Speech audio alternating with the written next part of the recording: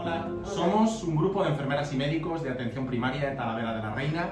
Siguiendo los consejos e indicaciones de nuestros compañeros epidemiólogos y en aras a mejorar esta enfermedad que afecta a nuestra sociedad, queremos deciros que os necesitamos a todos y el mejor consejo que os podemos dar es ayúdanos a cuidarte y quédate en casa.